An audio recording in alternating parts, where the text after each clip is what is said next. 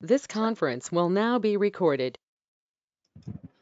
ఎంతమంది వచ్చారు hello okay hello hi everybody so are you there all of you Yes, ma'am. Yeah. So now that you have already heard about the normal uterine action and normal labor, now you will be learning about an abnormal uterine action. And all of you are aware that for normal labor to occur, you have three P's. Is it not? You know those things. Okay? Power, passenger, and passage. These three are very important for a normal labor. Right? So now we are going to learn about the power, that is the uterine activity. The passage is the pelvis. Then the passenger is the fetus. Okay, today you are going to learn about, so all the normal three P's you have learned, you are going, going to learn now about the abnormal P's in the power, that is abnormal uterine action, right? So before we actually go for the abnormalities, what are the normal uterine contractions? This is just a review.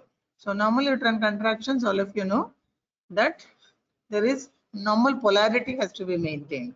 Polarity means when the upper uterine segment is contracting and retracting, the lower segment is dilating and relaxing. That is known as a normal polarity during normal labor. So upper segment and the lower segment, they have to diverge actions. So when the upper uterine segment is contracting and retracting, the lower segment will be dilating and relaxing to receive the baby. That is known as the normal polarity of the uterus. And the pacemakers are situated at the each corner of the uterus so that the contraction will spread in a coordinating matter, manner. Okay. So there are the two pacemakers at the each uterine cornua, which are the ones which are generating the contraction waves. So the pattern of the uterine contractions, it propagates down towards the lower uterine segment with a decrease in intensity and duration of the contraction as they are coming downwards. That means the maximum contraction will be there at the level of the fundus. So as it is coming downwards, you find that the contractions will reduce. That is referred to as the gradient of physiological gradient of diminishing uterine activity. So that has to be maintained for a normal labor to occur. Right. So this is just what you have already heard before. So what are the parameters of uterine contractions? So the basal tone should not be more than 20 millimeters of mercury. It should be around 5 to 20. Then the peak pressure should be around 60 millimeters of mercury. It may sometimes go even up to 80 also particularly during the second stage of contractions. Then the frequency of contractions are usually there should be three contractions in every 10, 10 minutes or one in three minutes lasting for 45 seconds. So the uterine contractions are said to be adequate when there are three in 10 minutes. Each contraction should last for 30 to 45 seconds, not less, not more. Right? So these are the basic uh, parameters of the uterine contraction. And the most important thing is normal polarity has to be maintained and normal physiological gradient has to be maintained. So how do you assess uterine contractions? Most commonly, we assess them by a clinical palpation. So just put a hand onto the abdomen. You can feel the uterus contracting and you can observe it, how long it is contracting and how well it is contracting. Right? You can feel the hardness that will tell you about the intensity of the contraction and you see how long it is lasting. Okay. It is it lasting for 30 seconds to 45 seconds or is it more or is it less? Okay.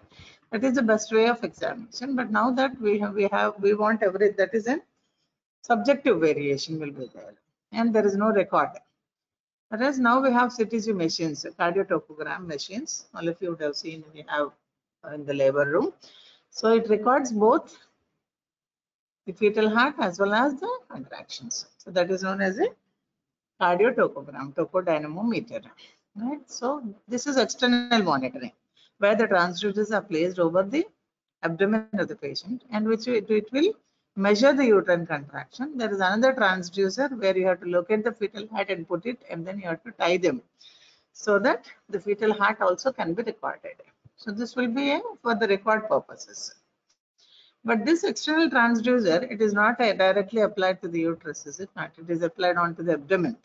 So what it is measuring is actually the strength of the abdominal muscle contraction, not the uterus actually.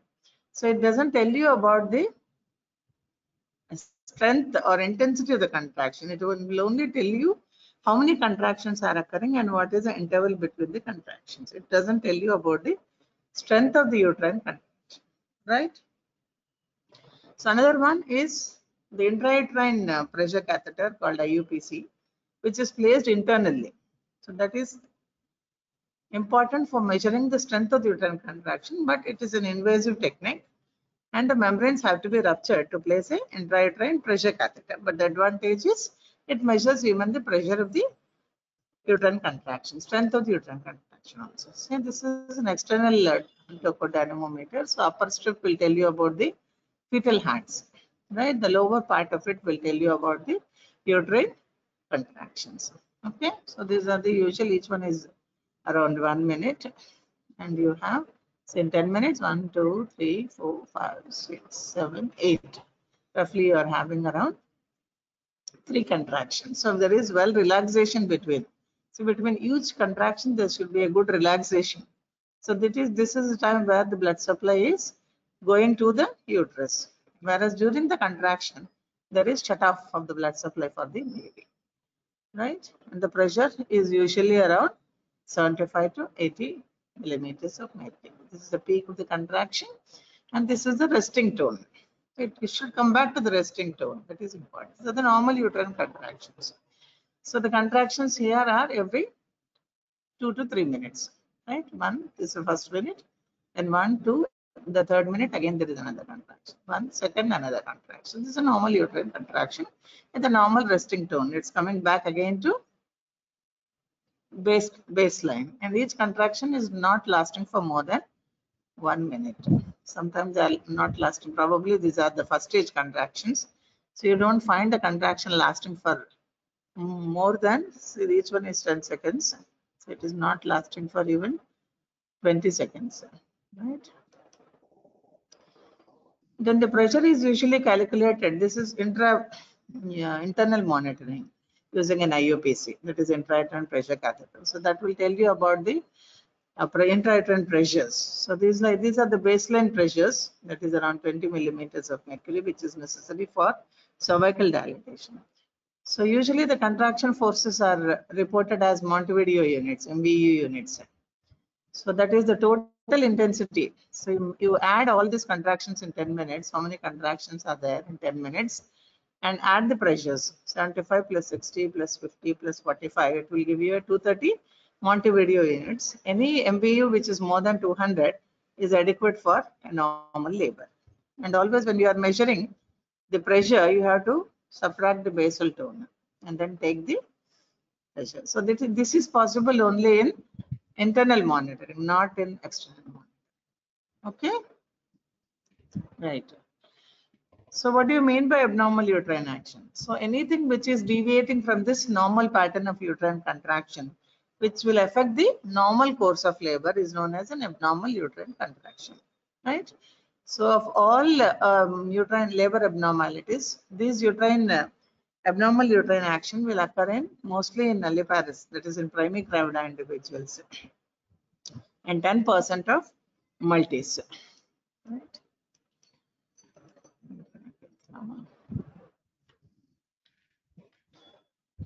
Okay. So how do you classify? Anyway, whenever you say an abnormal uterine action, always it will be more or it will be less, right? So it is inefficient or it is over efficient. So inefficient uterine activity is where hypoactive states, which is known as uterine inertia. That means the uterus is not contracting very well, or even if it is contracting, it is not sufficient to bring about normal labor. Or it may be hyperactive and incoordinate states. That is hyperactive lower uterine segment, a colicky uterus, a constriction ring, or a cervical dystocia. Okay, inefficient in the sense they are contracting, but they are not able to bring about a normal labor. Right? Then over efficient uterine activity is where precipitate labor and tetanic uterine activity. So this is the uh, one of the classifications for uh, abnormal uterine activity. Inefficient, that is hypoactive or hyperactive. Hyperactive lower segment, colic uterus, constriction ring, cervical dystocias.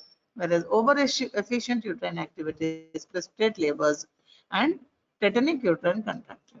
So there's this is also another way of uh, classifying the abnormal uterine action into those uterine action where the normal polarity is maintained and where the polarity is disturbed, abnormal polarity. So normal polarity is maintained. Polarity in the sense the upper segment is contracting and retracting, the lower segment is dilating and relaxing, receiving the baby. So the normal polarity is maintained in uterine inertia, then in excessive contractions, hyperstimulations, that is precipitate labors, tonic uterine contractions and retraction. So these are the conditions where the normal polarity is maintained. Whereas abnormal polarity where there's a disturbance of polarity is a spastic lower uterine segment. That is instead of dilating and relaxing, it is it has become spastic. Then the cervix is also supposed to dilate and allow the passage of the baby. Is it The cervix is going into the lower uterine segment. Then any constriction ring, that is the localized activity of uh, localized muscle spasm is called a const uh, constriction ring. Then generalized tonic contractions without any proper relaxation. These are the abnormal polarity. So you can divide abnormal uterine action even like this also. Normal polarity and abnormal polarity, hypoactive and hyperactive. So for all the causes for um, abnormal uterine action, they are almost the same. So most of the cases we don't know the cause, it is obscure, but following conditions are supposed to be associated with abnormal uterine action, any type of uterine action for that matter. Like elderly primies, and prolonged the pregnancies, that is past dates or post-dated pregnancies. Then whenever uterus is over-distended, right? Multiple pregnancy, hydramnios, any tumors complicating pregnancies, large babies, diabetic infant and so on. Then contracted pelvis, right? Then malpresentations, malpositions also like occipital posterior positions. Then obesity, then psychological factors, actually uh, to the three P's which have been described for a successful labor, another P also has to be added. That is the psych factor of the patient. The patient should be well educated to face this pain of the labor. So emotional factors like anxiety and stress also play a very important role in causing uterine abnormalities, um, uterine action abnormalities. And then drug-induced, injudicious administration of sedatives, analgesics, oxytocin, anesthetic agents, or prostaglandins. So exact cause we don't know, but these are supposed to be some of the factors which are associated with abnormal uterine action. Any type of uterine action, the causes will be the same. Elderly gravida, past dates, over-distended uterus, contracted pelvis, malpresentations, malpositions, obesity, emotionally distressed patient, anxiety and stress, and injudicious administration of sedations, analgesics, and oxytocin. Right? So excessive uterine contractions. So these are the terminologies that are given for excessive uterine uh, contractions. There's polysystole. Poly means more frequent, is it not? So when the contractions are occurring more than once every two minutes. So normally we want the uterine contractions to occur for every three minutes. Roughly three in 10 minutes means every three minutes there should be one contraction. But here it is poly. Poly means more. More than one in every two minutes. Then the hyperstimulation is the same response, but the patient is on either induction of labor or augmentation of labor in response to either oxytocin or even a misoprostol. Right? That is called hyperstimulation. So polysystole is in spontaneous labor. The same terminology if she, if she is on oxytocin or on prostaglandins, you call it as hyperstimulation because you are stimulating the labor. What do you mean by induction of labor? You are stimulating the uterus to contract. So now, if she is having more contractions, you call it as hyperstimulation. If it is a natural labor, you call it as a polysystole. Then tetanic uterine contraction. Tetanic means a single contraction. Normally, it should not last for more than 45 seconds or at the most one minute. But here single contraction is lasting for more than three minutes. That is called a tetanic uterine contraction. Then hypertonic. So that's the name itself is suggesting. Hypertonic means where the baseline pressure is about 20 millimeters of mercury. So the patient feels pain at about 15 uh, millimeters or 20 millimeters. She feels that pain. So in cases of hypertonic uterine contraction, the uterus is not relaxed at all. So the patient is never free of pain. See, he will have continuous uh, pain because there is no adequate relaxation. Right?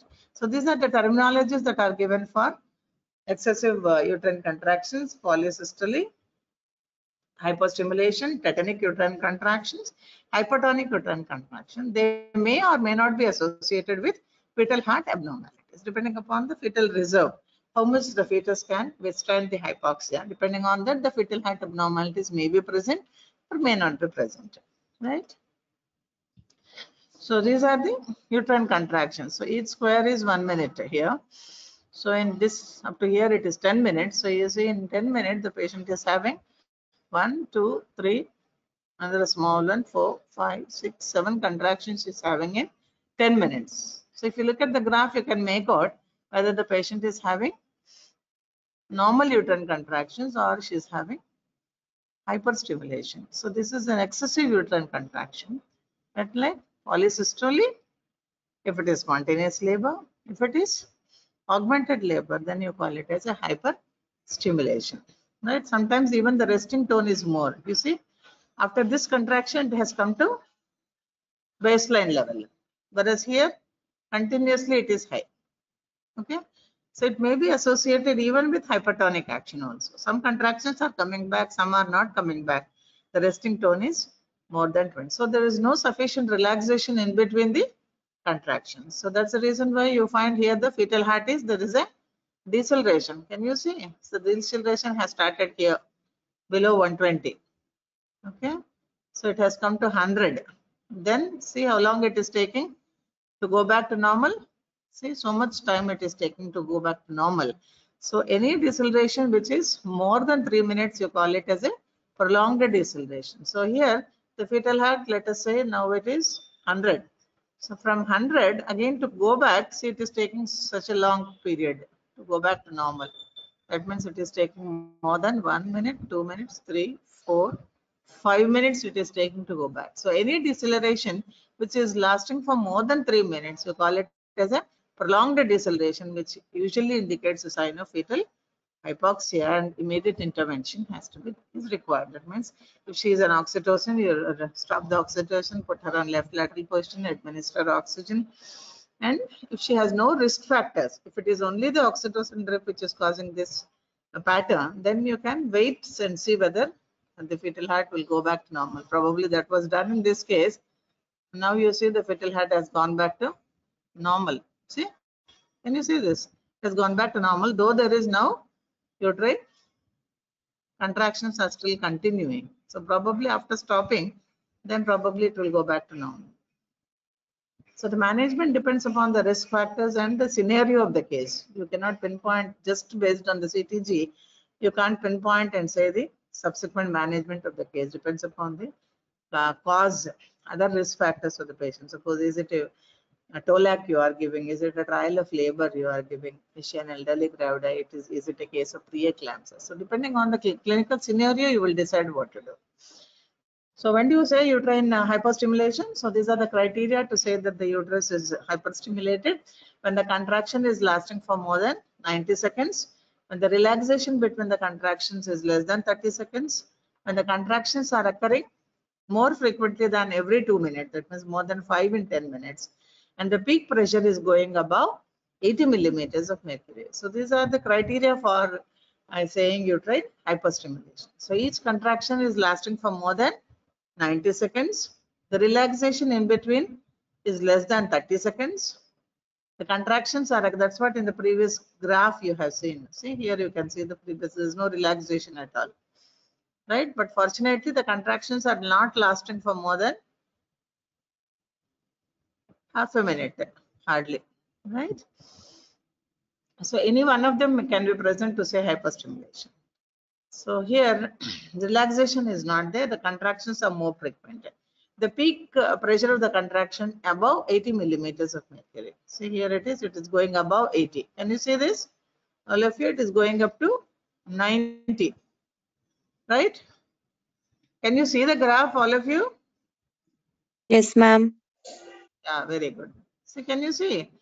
There is no sufficient relaxation between the contraction. It is not, there, it should be 30 seconds. So here there is relaxation, it has come back to normal.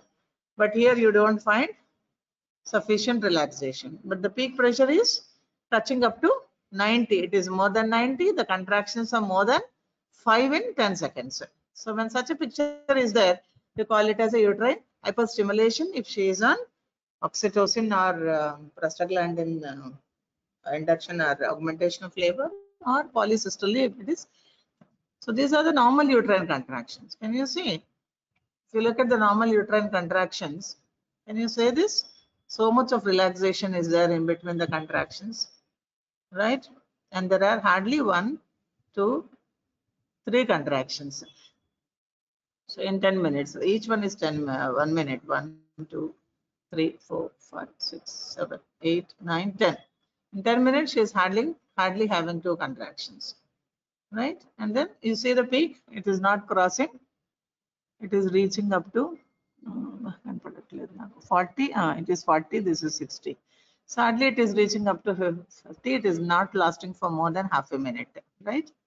So from here to here, it is hardly half a minute. So even the fetal heart is also normal.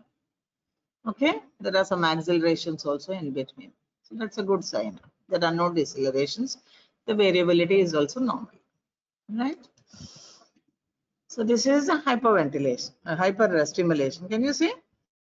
So, so many contractions are occurring here, in the down graph. Can you see all of you? So too many contractions are there. Even the basal tone is also increased. There is no relaxation in between the contractions and you, you find the fetal heart is also going down, right? It has gone down and again it is picking up, but still you find decelerations here. Okay. So this is about the uterine hyperstimulation. In uterine inertia, inertia we already said it is a hypoactive. So this can be primary. That means it can be there even from the right from the beginning of the labor, or it can develop later on after a variable period of effective contractions, where you find either arrest of descent or arrest of uh, dilatation. So it can be primary or it can be secondary after a variable period of effective contractions. The features are all are reduced, right? The intensity has reduced, the duration of the contractions is also less. The interval between the contraction is increased.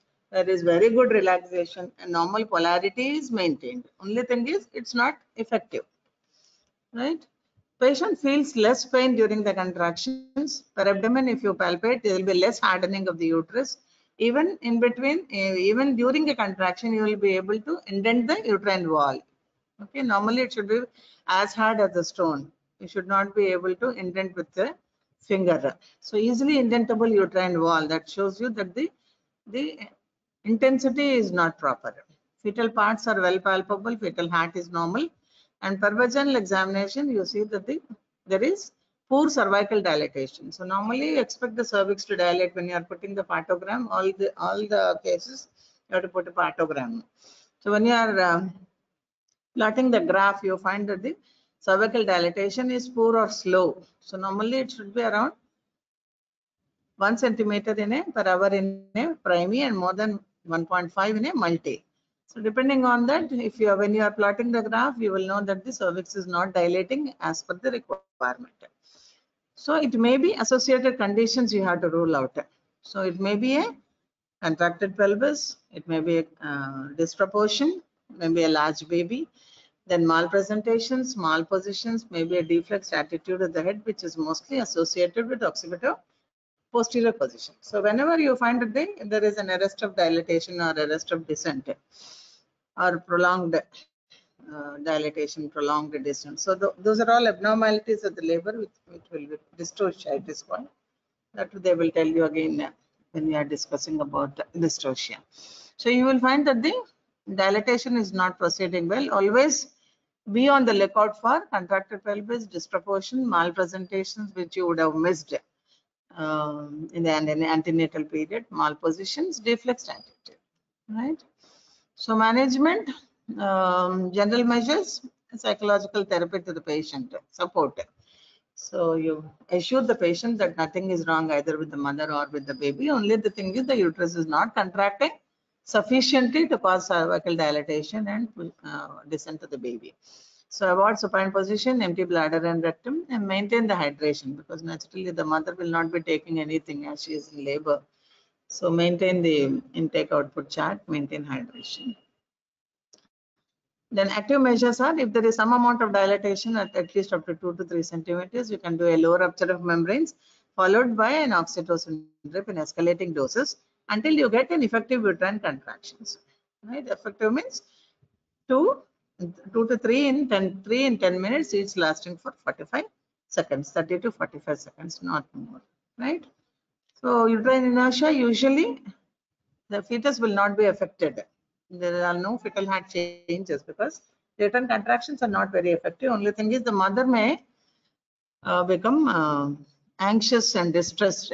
That's the only thing uh, problem with the uterine inertia. So role of cesarean section is only when it is associated with contracted pelvis or disproportions. Then when, you have not uh, diagnosed a malpresentation in the antenatal period, usually you don't find any fetal distress in uh, uterine inertia because uterine is not act action is not there. There's no chance for hypoxia for the baby. But the mother may go into little distress because of intake, lack of intake of fluids. So that's about the hypotonic uterine inertia. Only reassure the patient. See whether you have missed anything associated uh, contracted pelvis or disproportions or malpresentations, malpositions. Depending on that, you take the action. If everything is all right, the pelvis is good, the baby is average size, the liquor is adequate, she has no risk factors. Then if the at least the two centimeter dilatation and cervix is well taken up, you can do a low rupture of membrane. If the cervix is long, you can always prime the cervix using the prostaglandin E2 gel. Um, then precipitate labor is exactly the opposite of um, inertia, where you find that the combined duration of the first and second stages of labor is less than two hours. So in two hours, the mother expels the baby, which is mostly seen in uh, grand multipara. Grand multipara is the one who has delivered more than five viable uh, fetuses before. She's called a grand multipara. So this is both because of hyperactive uh, uterine contractions as well as diminished soft tissue resistance. Because she is a multi probably uh, there is so much of uh, perineal damage pelvic floor damage to this patient. So it is not offering any resistance on the soft muscles. Pelvic floor muscles have become very soft so they don't offer any resistance. So the first stage is not under our control. The second stage is under the control of the mother right? First stage is fast because of the hyperactive uterine contractions. Second, second stage is also very fast, probably a few minutes, because of the diminished soft tissue resistance, lack pelvic floor, not offering any resistance and so on. So that is called a precipitate labor, where the duration of labor is less than two hours, which is both because of hyperactive uterine action and diminished pelvic resistance. So this is a, this the same figure which we have seen. Hyperactive uterine contractions. When the uterus is contracting so fast, then you find that the uterus, uh, the baby comes down very uh, fast. And then it is expelled very fast because the maternal soft tissues are not offering any resistance. So this is associated with some uh, maternal and fetal complications. Fetal complications like intracranial um, damage, intracranial hemorrhages and so on because there is no time for the baby to adjust uh, itself to the curve of the birth canal. And sometimes the patient may be standing and suddenly the baby will fall onto the floor. And we have seen people delivering in, in bathrooms or in the corridors. Suddenly the baby comes out and then it may be fracture skulls and other. Then the cord also may snap off and there may be bleeding from the torn cord from both the sides, from the maternal side as well as from the fetal side. So most important are the intracranial hemorrhages to the baby. And sometimes the baby may fall onto the floor suddenly. And then uh, it may hit and there may be fractures of the skull and associated hemorrhages and so on. Then maternal complications are also there, like uh, extensive lacerations of the cervix, vagina, and perineum because the baby is coming so fast out.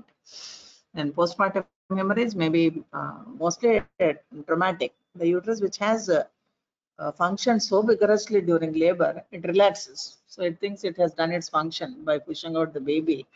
Its job is over and it silently keeps quiet. So atonic PPH is very, very common in these individuals because of hypertonic uh, uterus, not only atonic, even traumatic postpartum hemorrhage also may be there because of lacerations of the cervix, vagina, and so on. Then inversion of the uterus also is common in these individuals. Very, very rarely you find a uterine rupture. Then uh, infection because of because the grand multi is already anemic, blood loss, PPH, and so on.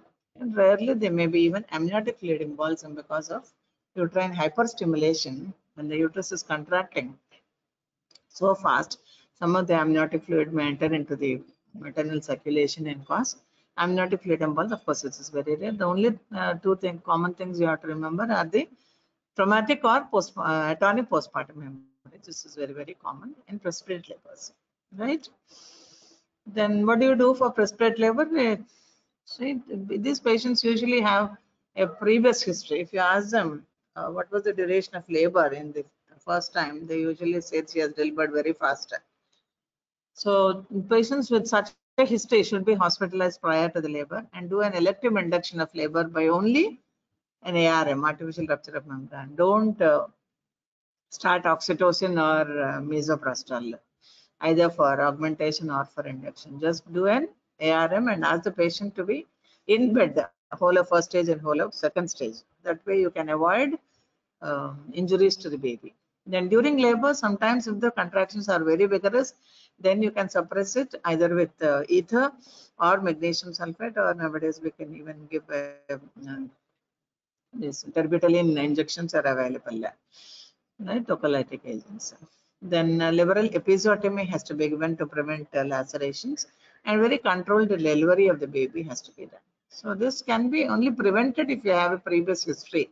Otherwise, it's difficult to prevent uh, these cases. So if you have a previous history, don't allow the woman. Normally, we allow the patients uh, ambulant in the first stage of labor. Is it not? Low, all rounders cases, grand multis with a previous good obstetric record. But in this case, uh, you have to keep them in the bed and always do, don't give them any oxytocin or prostaglandins. Right? If the contractions are too vigorous, you can use magnesium sulfate or terbutaline. Next comes the tonic uh, uterine contraction and uh, retraction. That is what happens in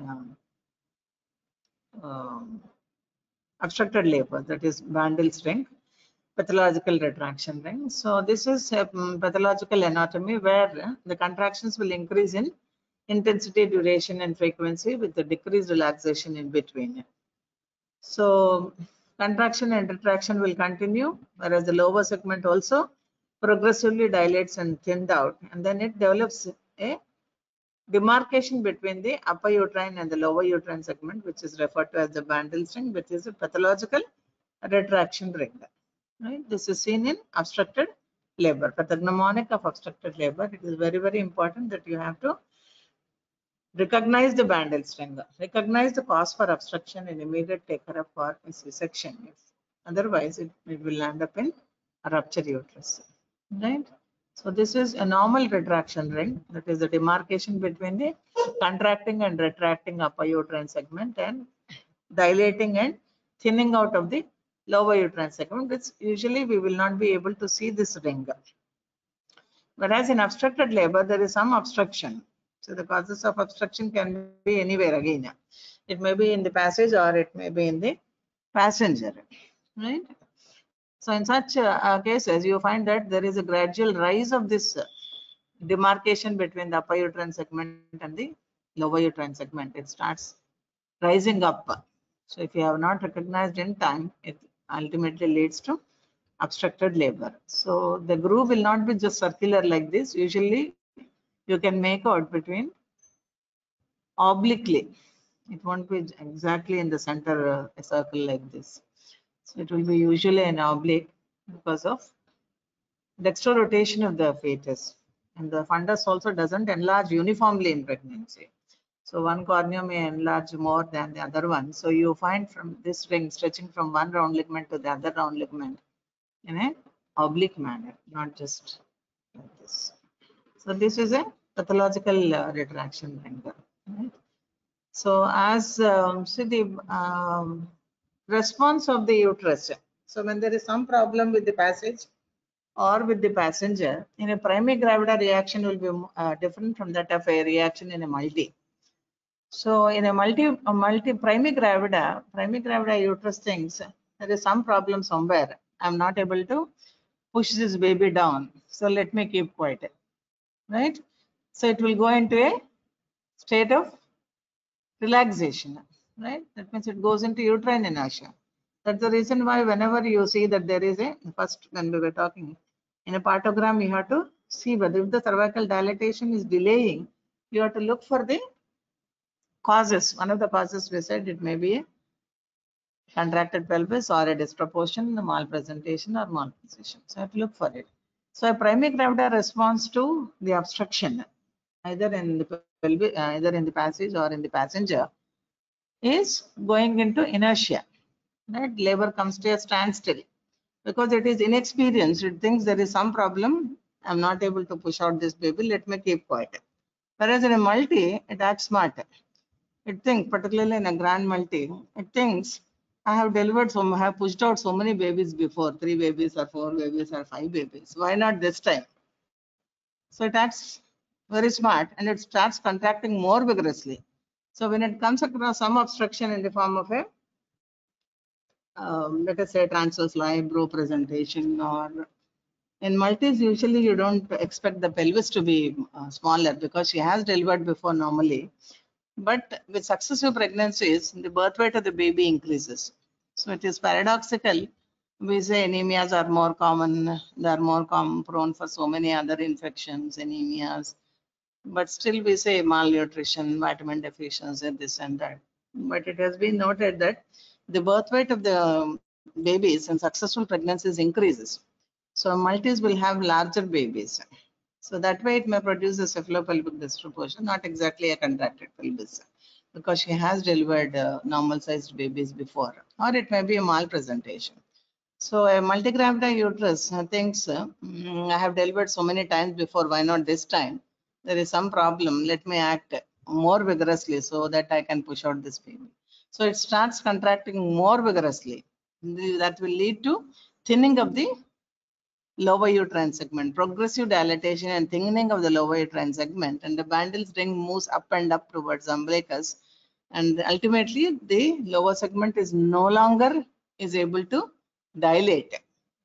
It will rupture. So that leads to rupture of the uterus and uh, fetal distress and fetal death. So that's the response of a primary compared to a multi whenever there is some obstruction. So it is it's very very important to diagnose the Bandl's ring.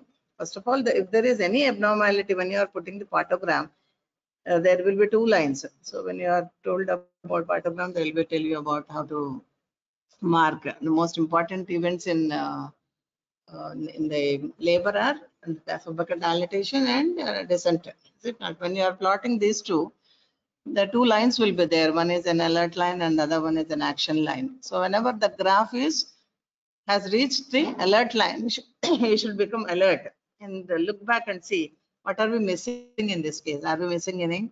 She is a primary, you have to look for contracted pelvis. If it is a multi, look for malpresentations and malpositions and cephalopelvic disproportions. So these are the common things. Contracted pelvis, disproportions, malpresentations, malposition. These are the four things always you have to uh, keep in mind whenever um, there is some abnormality in the progressive labor in dystocia, right? So whenever it has approached to the alert line, you have to go back and review the case again. What is wrong? Have I missed anything? Then when it still crosses and comes to the action line, you have to take some action, right? Either if she is in very early labor, you have to go for a cesarean section. If she is already fully dilated, you can do an assisted vaginal delivery or an operative vaginal. So that will be told to you when we are dealing with an obstructed labor. Okay, here the clinical feature, the patient will be very anxious, because she has in labor for uh, such a long time, features of exhaustion, maternal exhaustion, and ketoacidosis. So this should not happen in modern obstetrics. In modern obstetrics, there is no role for um, mm, no role for maternal distress. Okay, always remember, no role for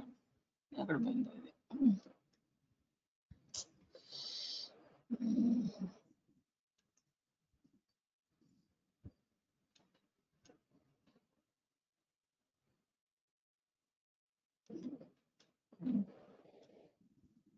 This exhaustion and ketoacidosis should never happen in modern obstetrics. You should never allow any woman to go into exhaustion that that situation should not arise if you are properly following up the patient. You are putting the partogram nicely following up the patient, right? So the upper uterine segment will become very tender and very hard. The lower segment becomes distended and very tender. You can see the groove in between the um, upper and lower uterine segments. That is known as the Bandl's ring, which is called a pathological retraction ring. So treatment is correction of dehydration and acidosis, adequate pain relief, and give her antibiotics because it may be associated with premature rupture of membrane and she's in prolonged labor. Always exclude rupture of the uterus. In majority of the cases, it is an abdominal delivery. Okay, cesarean delivery in almost all the cases. So you are not supposed to do anything in presence of Bandl ring right? So in modern obstetric, there should not be any bundles. You should not allow any woman for, that's what is safe motherhood, right? And then next comes the incoordinate uterine action. Incoordinate uterine action is also a hypertonic uh, uterine state, uh, which usually appears in the active stage of labor. So where you find that the the pacemakers will appear all over the uh, uterus, not just at the cornua. So normal physiological gradient of diminishing activity is disturbed. So there is irregular spasmodic contractions of the uterus. Everywhere the uterus starts contracting instead of maintaining a normal diminishing gradient of uh, activity. So increased frequency and duration of contraction with decreased relaxation in between and there is a rise in the basal tone, right? Okay, so the features of incoordinate uterine action are the basal tone is uh, increased. So that, that diminishes the placental circulation and so that will diminish the placental circulation and uh, sometimes there may be even abruption of the placenta and lead to fetal distress, right? Then ineffective uterine contraction, right? So there will be poor dilatation. You don't find normal cervical dilatation and normal descent to the prick. Okay, there is increased tone leading to reduced placental blood circulation or sometimes separation of the placenta and fetal distress will be there. And then it cannot cause normal dilatation and normal descent to the baby. And because of persistent pain, the mother will go into exhaustion, right? So a patient is in agony with unbearable pain, dehydration, ketoacidosis, bladder distension with often retention of urine. So this is one of the important uh, um, factor you have to remember. Whenever the, you find the bladder is getting distended very frequently and you are needing to catheterize the bladder frequently, that also indicates some abnormality in the either uterine action or some abnormality in the position or presentation of the fetus, right? So repeated bladder distension require, requiring repeated catheterization, which actually should be avoided. Any catheterization during labor should be avoided unless it's a some high risk case where you need to maintain the IO chart, like uh, preeclampsia, eclampsia, heart disease, and so on. Otherwise, all low risk cases, there's no need to catheterize the bladder if the, unless she is in some shock or something.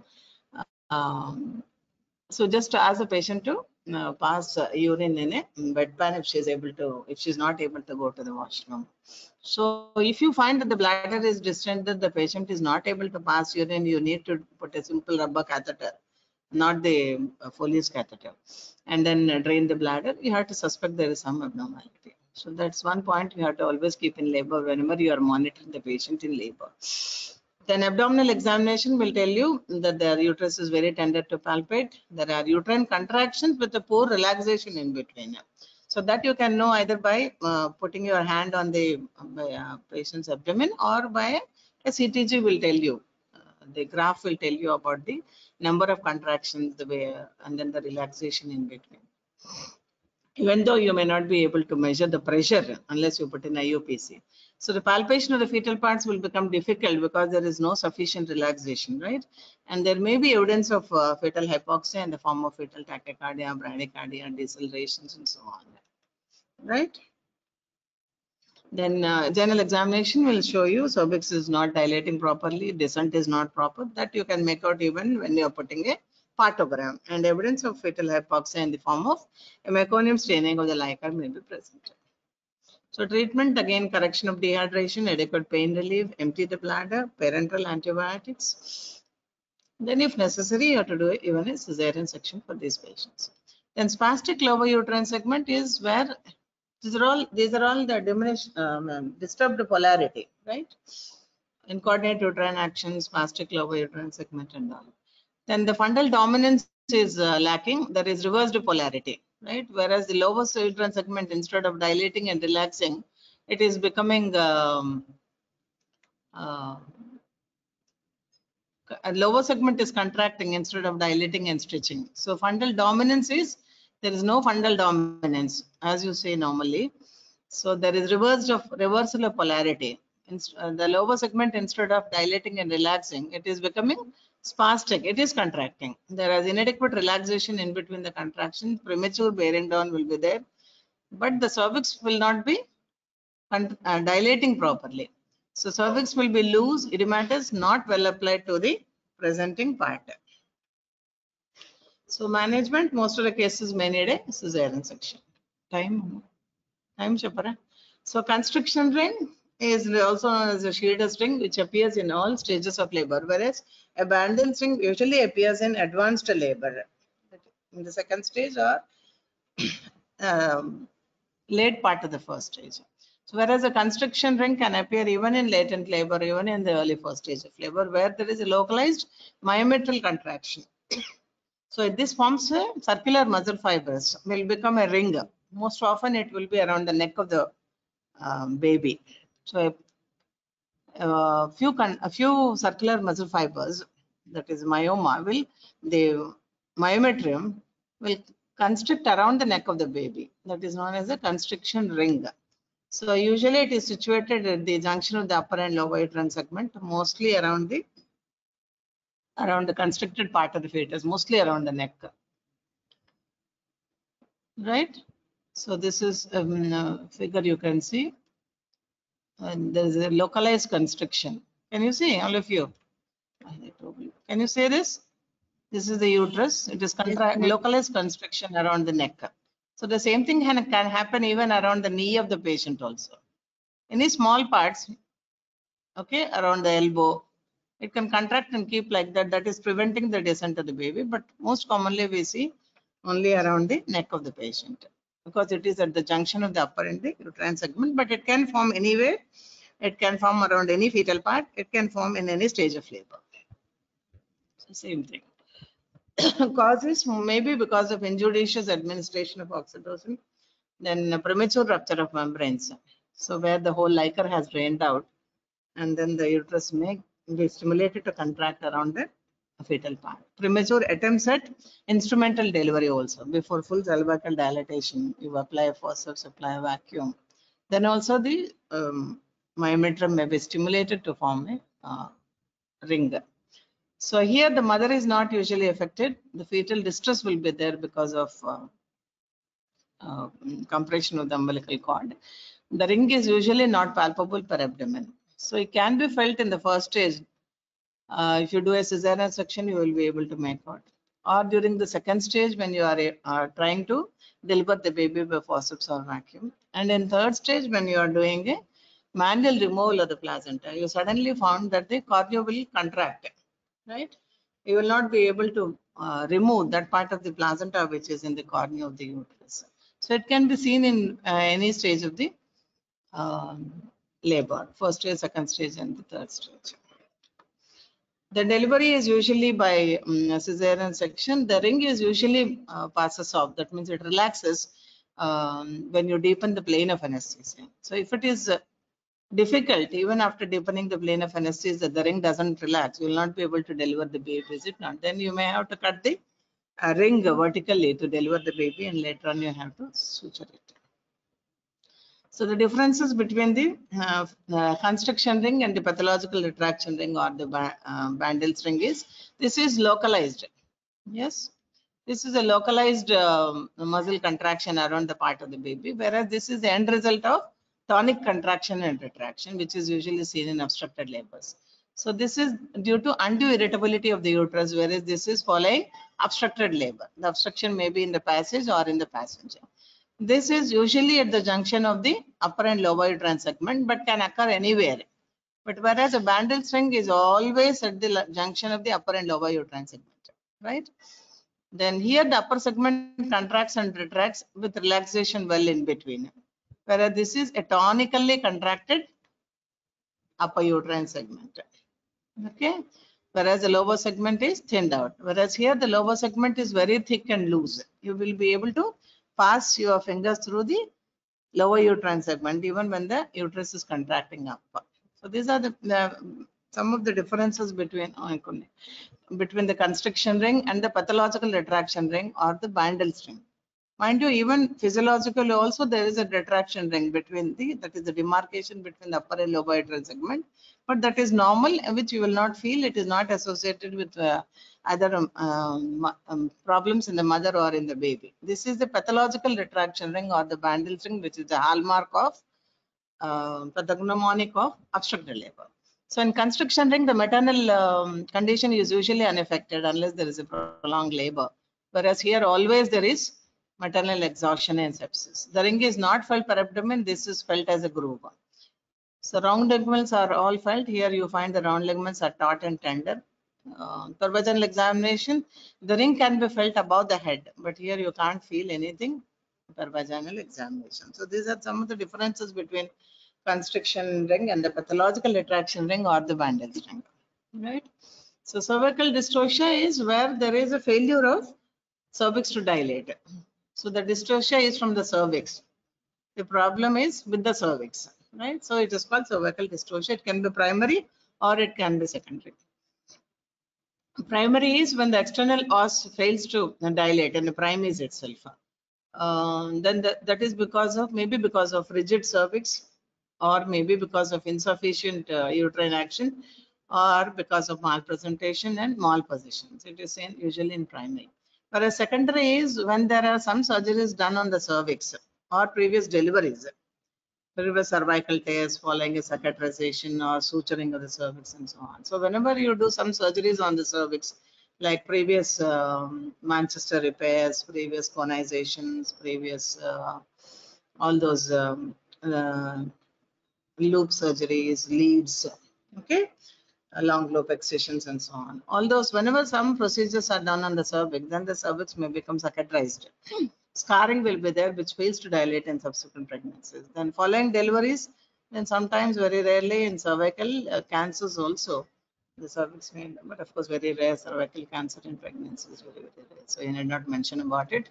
Just remember primary is in a primary where the external os fails to dilate. The internal os, everything dilates, but only the external os will uh, uh, will not dilate to allow the passage. Secondary is following some surgeries on the cervix, like amputations, uh, conizations. Times Savamma. Then management. Okay. Uh, management, if only a thin rim of cervix is left to behind, you can push it up. So you push it up above the head if there is a thin rim of the cervix. If the cervix is um, not fully dilated, then you can do uh, give cervical incisions, which are referred to as the Dührssen's incisions. Of course, nowadays we are not seeing all these nowadays because straight away most of these patients are being taken up for abdominal deliveries. So previously, when the facilities were not there, or uh, the cases in uh, health center where facilities are not there, in such cases, uh, cervical incisions can be given at 2 and 10 o'clock uh, positions. Uh, then uh, immediately put a forceps or a extraction. These are called Dührssen's incisions. uh, the same incisions we even give in um, prolapse complicating pregnancy, where the whole cervix is outside the uterus, and then naturally it doesn't dilate. So much of hypertrophy is there, so much of congestion is there, it won't dilate. So in such cases also, uh, we give a Dührssen's incision, immediately put uh, forceps or ventouse and remove the baby. So that's about cervical uh, dystocia. Gen generalized uh, tonic contractions are uterine uh, tetany, tetanic contractions. So the, without any relaxation and then the pressure will go up. So there is no physiological differentiation between upper uterine segment and the passive lower uterine segment. Pronounced retraction will occur involving the whole uterus up to the level of the uterine, uh, up to the level of the internal os. So there is no demarcation. Uh, physiological demarcation is not there between the active upper segment and the passive lower segment, right? Then uh, whole uterus is going into a muscular spasm involve, uh, holding the fetus inside. See, the whole thing, whole thing is contracting. Whole uterus is going into the spasm. So cause again always exclude CPDs, um, malpositions, malpresentations. Any cause for obstruction, injudicious use of oxytocins. Then features per abdomen, abdo uterus is smaller in size, tense and tender. Fetal parts are not polar because tetanic, there's no relaxation. Fetal heart sounds also you may not be able to make out. But now that CTG is there, it becomes very easy to diagnose all these abnormalities, both fetal abnormalities as well as, the uterine action abnormalities. So per vaginal examination, you can see dry and edematous uh, vagina. There will be a jammed head with a, a big, huge caput succedaneum. So tocolytic agents, terbutaline can be given to 50 mics uh, subcutaneous injection. And most of the cases, they need a cesarean delivery. Okay. So this is about um, uterine abnormalities. Only two things you have to remember. One is uterine inertia, other one is hypotensive stimulation, incoordinate uterine action, and Bandl's ring. These are the things you have to keep in mind. Spastic lower uterine segment cervical um, dystocias are very, very uncommon. Any doubts? All of you? Clear? Yes, Have ma'am. any doubts, please ask. Yeah. So always this is very, very important, the differences between a constriction ring and a pathological retraction ring. So Bandl's ring may come as a short note question for you. So you should be able to uh, diagnose a Bandl's ring, write about it, right? All of you? Yes, Have any ma'am. doubts, please ask. Yeah, most welcome. We have some time for uh, questions, right? So now that CTG is there, it, it is has become easy to diagnose all these labor abnormalities. Right? Right? So the, the moment you look at the graph, you will be able to say whether the uterus is contracting well or it is contracting less or more. Right? And then the response of the fetus to this uterine action. Okay? So it, the decision becomes easy uh, studying the clinical scenario of the patient. Okay. Right. If you have any doubt, please ask me. So this, this is how should be a normal uterine uh, contraction. This is a normal fetal heart. Then this is hyperstimulation associated with the deceleration in the fetal heart. So it becomes very easy nowadays when you are monitoring a, a patient in labor with a cardiotocogram. It may be continuous or it may be an intermittent CTG, right? Because you have too many patients in labor room and you have one or two machines because the machines are very uh, expensive. So you just put it for uh, a patient for some time, for half an hour or so. And then you can, if the graph is okay, then you can shift to the next patient. So it's not necessary that all cases have to be followed up by CTG because CTG gives a, a lot of false positive tests, right? And so the rate of cesarean section, that, that's the problem with um, electronic fetal monitoring. It's called EFM. Electronic fetal monitoring, it's good, but the problem is the interpretation varies. So though the uh, EFM was started, CTG and EFM was started in 1960s, almost four decades now, um, still uh, there is no standardized terminology. There is so much of uh, inter uh, observer uh, chain changes. and intra-observer also. Variability will be there. And uh, 60% are false positive.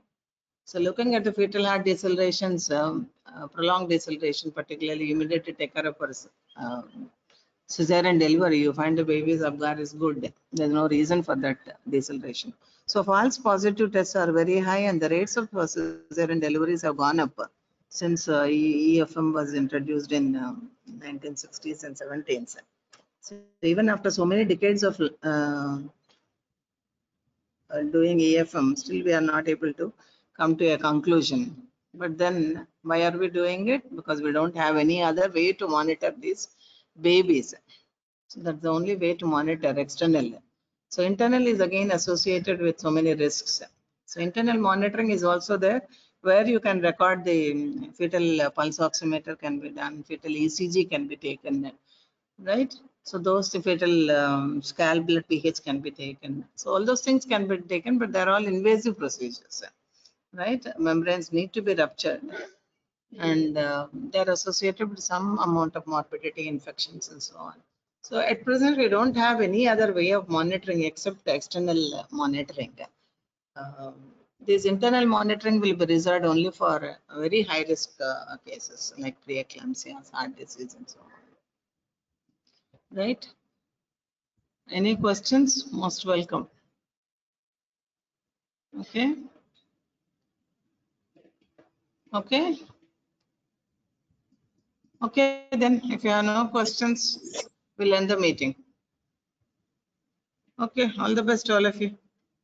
Good day, be safe. Thank you, ma'am. Thank you.